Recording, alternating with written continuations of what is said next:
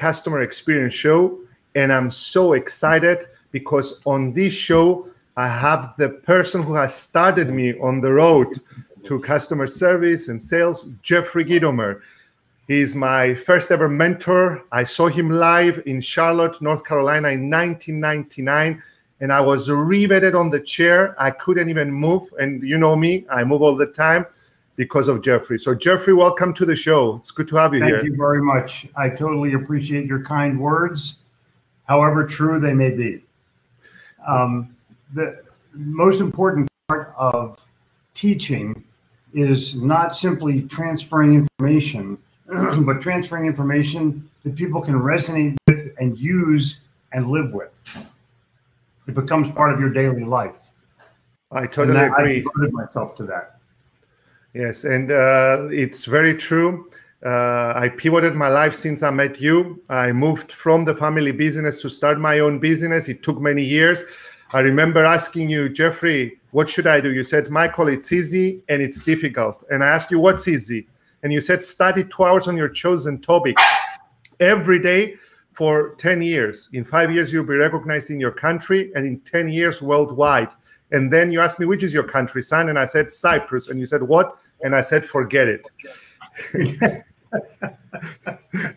and then I asked you, what's difficult? And you said, Michael, you have to have consistency. Will you be able to do it for 10 years in a row? So I've done it for 10 years in a row. It took a little bit more, but I'm so honored and happy to host you here and speak to you after 21 years. It's our pleasure. It's my pleasure, actually. Um, I uh, today, you know, because of COVID, the country's a little bit locked down here in America. Uh, we're still not roaming around the streets the way we used to. Uh, yesterday, my my football team won, so I have to talk about it, even though it was a pretty crappy game. Uh, we ended up winning. So, well, we we ended up not losing. That's a way to describe it. And, uh, you know, your business is very appropriate right now because service will play a role in people will remember how they were treated during this time. And that's going to reflect in will I do business with you when we move forward into a new way of doing business? Right now, everyone's scared, everyone's looking for answers Everyone has their own issues. Some people have had a death in the family, and some people have run out of toilet paper. And you have to know which one is which. Yes, very true.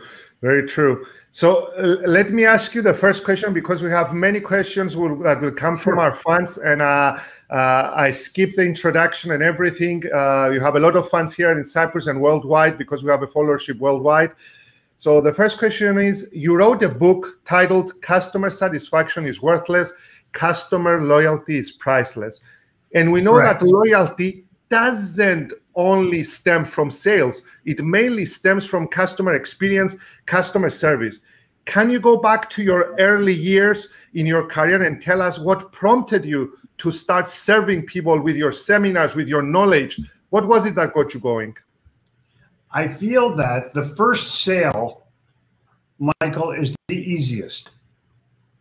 From that point on, service takes. And that's going to determine the second sale. If service is no good in the middle, I'm going to find somebody else because there's always somebody else.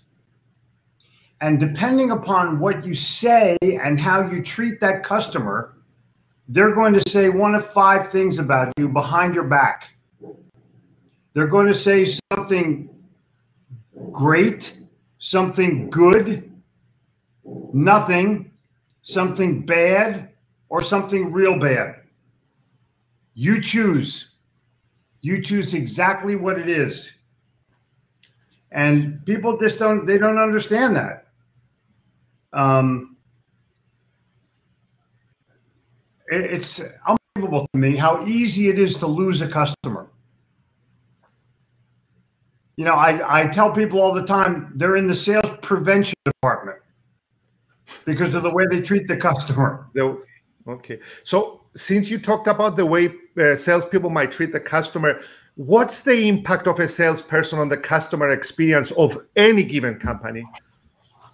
Well, there's two kinds. There's face to face, and there's faceless. So now many people have an internet service department where they're trying to respond to your tweets or they're trying to respond to their uh, circumstances, and do it in a very ineffective way. They apologize. Well, we're very sorry that that happened. I don't care if you're sorry. What are you going to do about it? So recovery. we're in the mask era now. We're in the mask era. So I walk into our, my daughter, my favorite bakery, and we want to get a couple of donuts. And the lady goes, Where's your mask?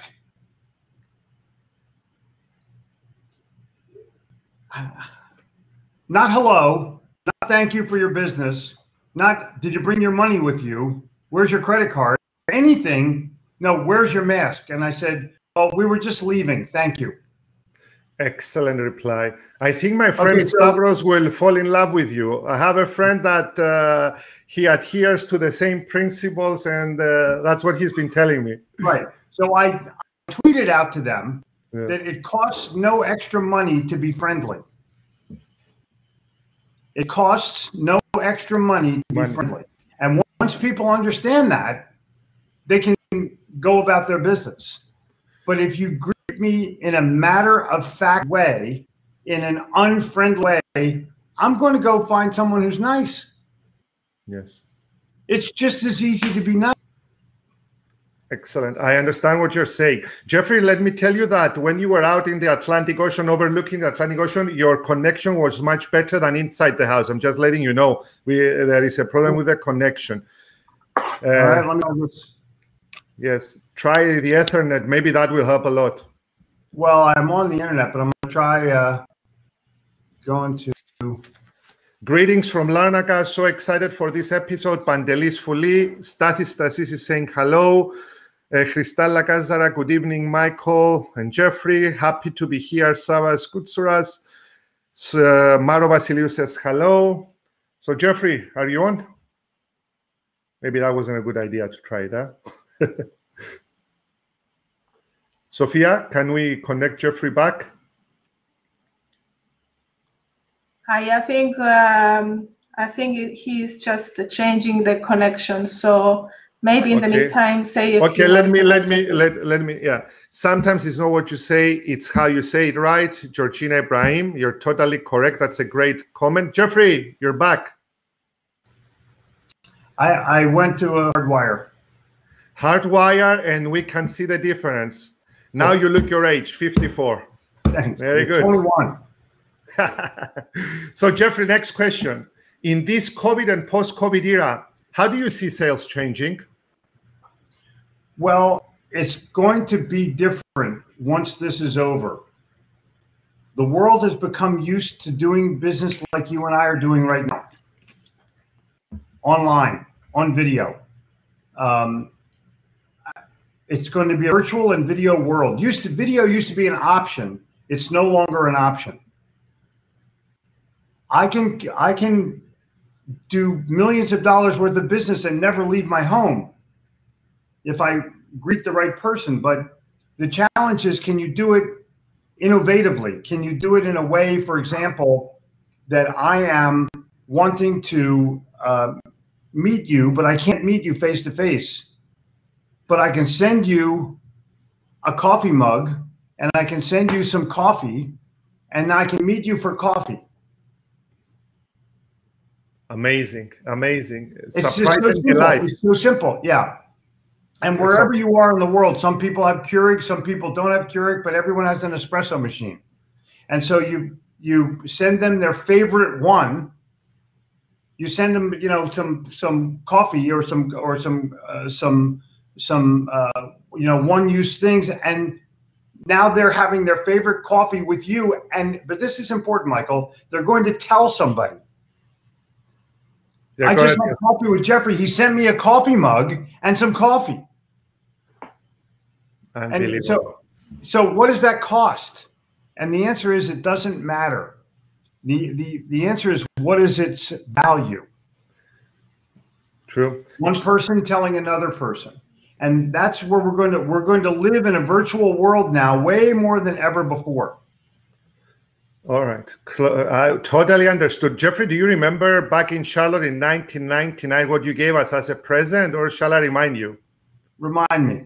You brought uh, a bin with your uh, with all your leaflets, and you said, since you're going to throw it in the bin, you might as well use my bin with my name on, Jeffrey Gitomer. Yeah. So, you, so you gave us a bin, and then you gave us a calculator and the calculator yeah. said we help you up your profits and when we pressed on the calculator the calculator turned stood on its own and says up yours up yours i know yes so know. jeffrey you are always a giver i try so, my best. Um, it's i use humor all the time because humor is memorable. And humor will allow you to relax. And and humor is is the basis of communication. So i i i use humor first. It's and true. that way people feel good and they feel open and they're comfortable and you become approachable when you start formally you're not approachable. Excellent. Um, i uh, i told you earlier that I, I lived in berlin for a while.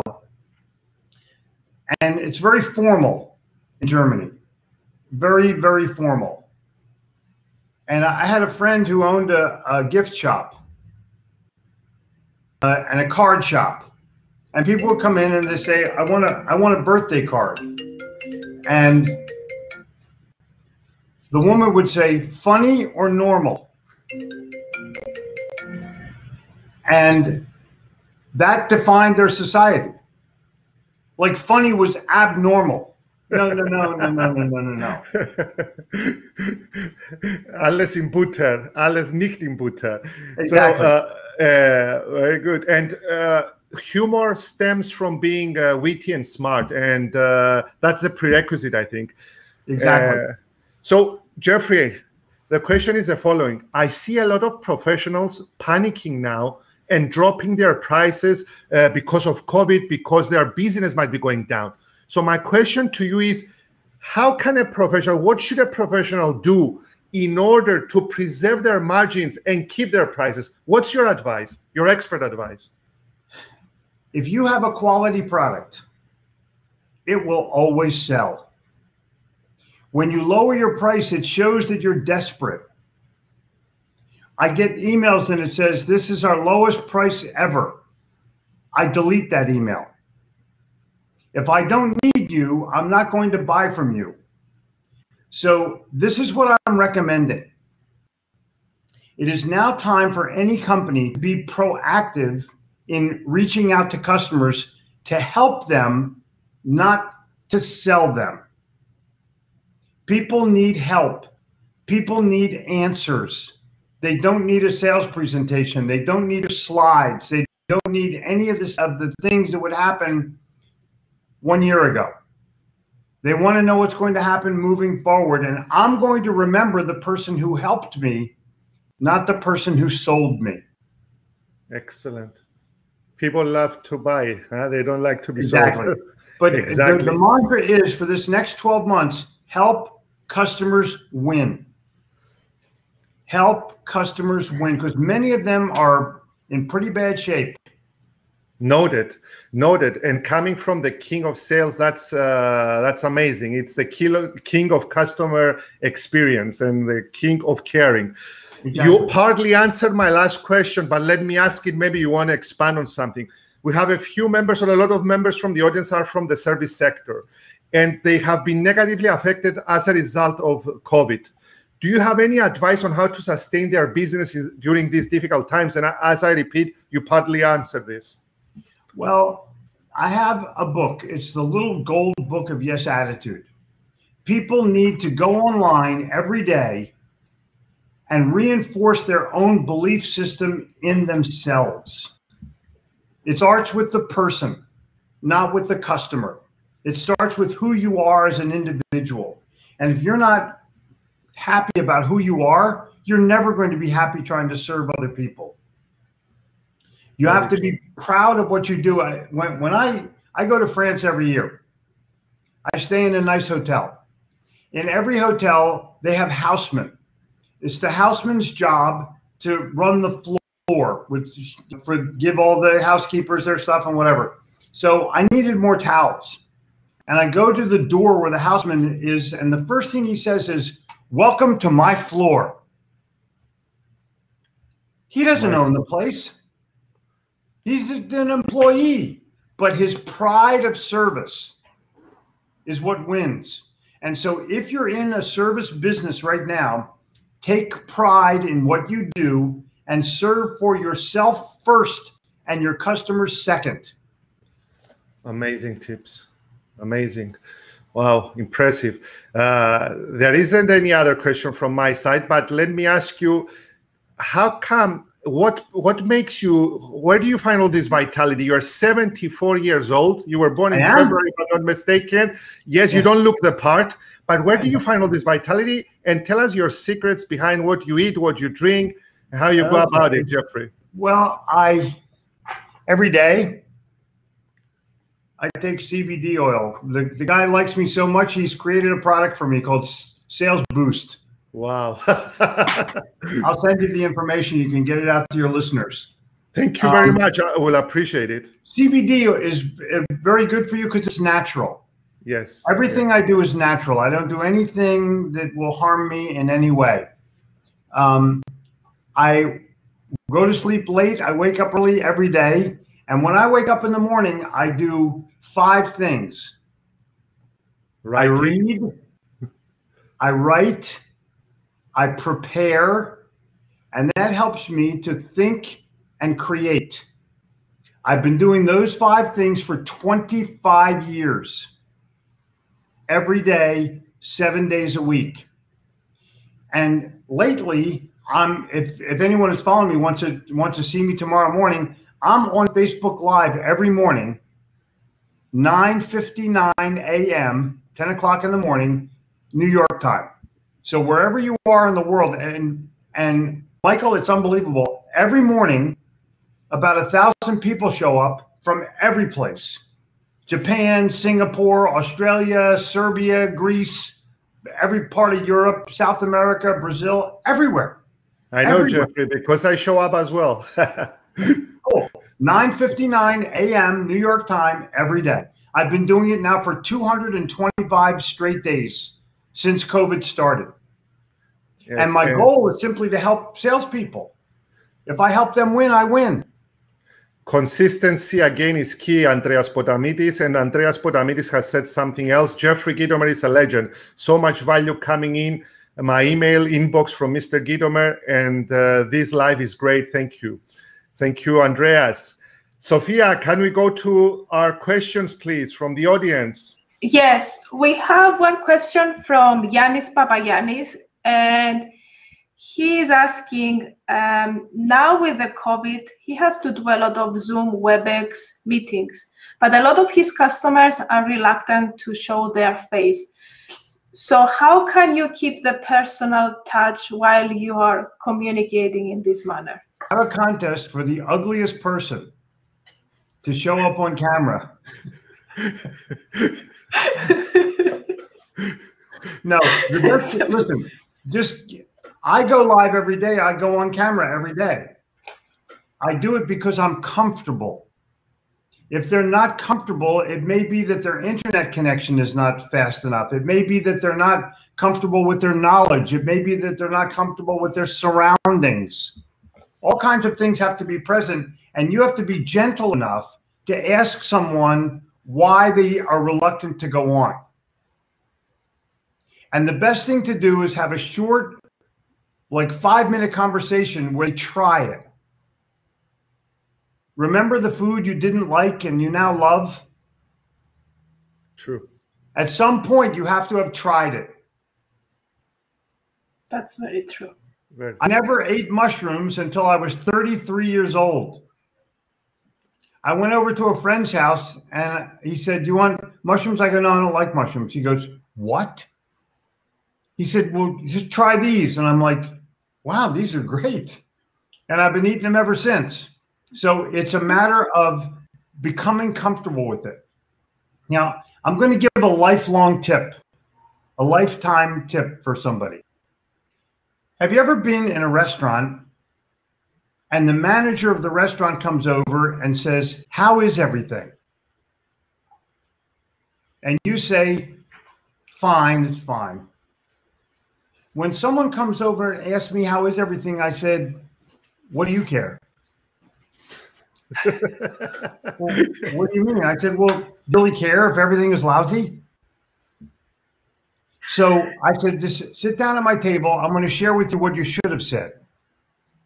Come over to my table and be specific. Say, Jeffrey, what was the best thing about this meal? And I would have said, well, it's it's the vegetables. They're they're unbelievable. Vegetables. Let me write that down. Jeffrey, what's one thing that was missing from this meal? What do you wish was here? Oh, I, I wish I would have had that Greek dressing, sweet and sour. Greek dressing. Let me write that down. You know, in um, in America they have Greek olives, but in, in Greece they just call them olives because you're already in Greece. you understand that, right? Okay. Yes. So dressing. Let me write that down now. I said, how many people do you see every day? She said, probably about 25 people. I said, so at the end of the day, you'll have 25 answers of what was the best thing, what was missing. Minimum. At the right. So let's say you get 100 things a week. That's 5,000 things a year. What was the best and what's missing? You now are a marketing department, first-hand marketing department. You could sell that information to the CEO of your company. Very true. Very Excellent. Find out what was the best thing. Find out what's missing.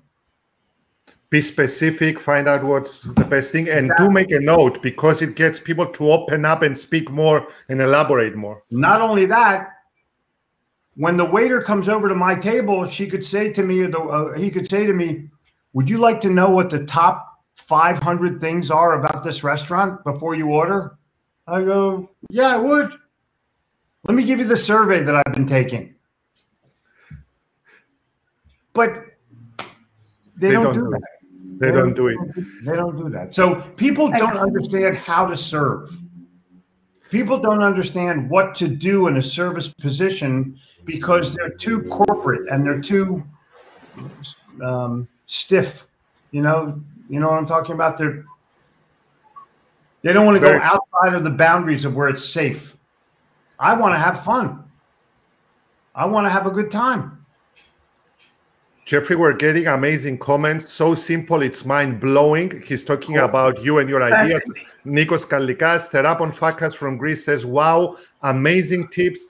Joanna Christofi, while she's driving back home, she says, Best productive time while driving back home. Stefanos Konstantinou, excellent tips. Cool. I see uh, these things. They're cool. You, you see them. Guys, if anyone wants to send a question in, feel free. I have, sorry to interrupt, I have a question that came before and I think it's really interesting to answer. It's uh, from, and excuse me if I don't pronounce your name correct, Diari Nur Eluda. And um, he is or she is looking to start a business. And the question is how to know if we are ready to deal with customers. Uh, there's only one way to find out. Start talking to people. Um, if your mother said, don't talk to strangers, you have to ignore your mother. You have to talk to everybody, everybody that you come in contact with, and smile at them so that they will talk to you and smile back.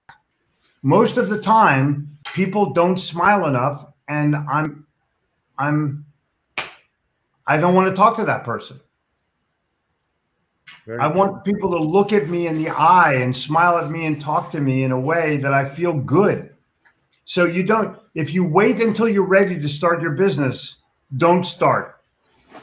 Just go when you feel you're not ready, but be friendly and talk to everybody. Talk to people. They will love you. amazing. Amazing. Amazing advice. Sophia, do we have time for Okay. more questions? We are reaching the end of uh, our time together, and I'll let you to wrap up. Okay, Okay, thank you I very want much. to say one other thing. Please. I spent a lot of time traveling in Switzerland, and this is for Sophia. Um, if you get cheese fondue, I'm a big cheese fondue person, biggest in the world. Every restaurant has their own bread. Yeah. They have they make it their own special way. And you take it with a fork and you dip it in the cheese and you eat it, but there's no two breads are alike. And so you can differentiate yourself with something as simple as bread. Exactly. Don't tell me that you're just like everybody else. It's it's that's not true. Your bread is better. We have the best bread in the world. Because the cheese is the cheese. And Jeffrey, actually, they differentiate also with their cheese. Yeah. I will let you wrap up. thank you. Uh, Jeffrey, anything else you want to say before I wrap up? No, I I want the world to be healthy. I want the world to be happy. I don't want you to feel as though you're being locked down. I want you to look at this as an opportunity that you can emerge any way you want to. It's going to be a different world in another couple of months. Do something that you love. Find something, follow your heart. Michael did. Thank you. Thank you very much. Uh, guys, just to wrap it up, uh, Jeffrey was amazing. That's why we get uh, uh, messages saying that he should come back to the show once again. We will organize something soon. Uh, this is experience, this is passion, this is knowledge speaking. I remember 21 years ago, I went up to Jeffrey. I bought his two books, The Sales Bible and Customer Satisfaction is Worthless, Customer Loyalty is Priceless. I thanked him. I also bought his cassettes, not DVDs, not CDs, but cassettes. I was listening to it in my car.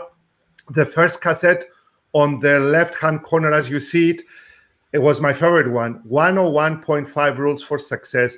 And as I was visiting customers, I used to cry in the car listening to it. The 101.5 rule was my favorite. And it said, You're given a bucket of water and a bucket of cement. You can either build a stepping stone towards success or a stumbling block, but the choice is yours. And if you want to build a stepping stone towards success, make it personal. It's my floor. Care about your customers to be specific, to ask what did they like about their dinner or about their lunch and what can be improved. Make it face to face, not faceless. And above all, remember that you need to help and serve, not sell. Jeffrey, it was an honor and a pleasure having you on the show, speaking to you after 21 years. And I thank you very much for doing us the honor. It's my pleasure. Thank you very much. Help you, everyone. Take good care. Bye bye.